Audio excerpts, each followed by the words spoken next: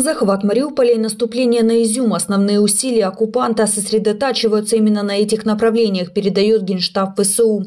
На Слобожанщине враг частично блокирует Харьков, чтобы скрыть передвижение оккупационных подразделений, осуществляется радиоэлектронное подавление сетей сотовой связи. Кроме того, россияне начали обстреливать Харьков спускающимися на парашютах снарядами, сообщил городской голова Игорь Терехов. Местные видели их во время обстрела 8 и 9 апреля. Тогда было повреждено 10 десяток частных домов, а на месте другого взрыва в жилом массиве образовалась пятиметровая воронка. По данным МЧС, из квартир было спасено 7 человек, еще 8 эвакуировано. Точное количество жертв неизвестно до сих пор.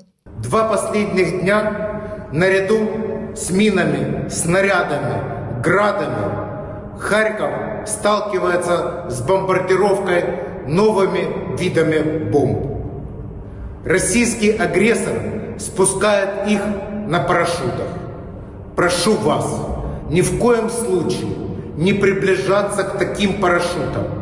По словам городского головы, с понедельника Харьков увеличивает раздачу гуманитарной помощи, продуктов и предметов первой необходимости. Все коммунальные службы работают круглосуточно. На южном направлении российские захватчики пытаются посеять панику среди местного населения, нанося ракетные удары по Николаевской области.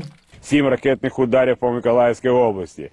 Семь ракетных ударов по Николаевской области. К счастью, пострадавших нет. Под многочисленными вражескими обстрелами наши войска удерживают освобожденные территории. Корабельные группировки противника в Черноморской оперативной зоне продолжают оказывать психологическое давление, атакуя побережье и мирное население ракетами.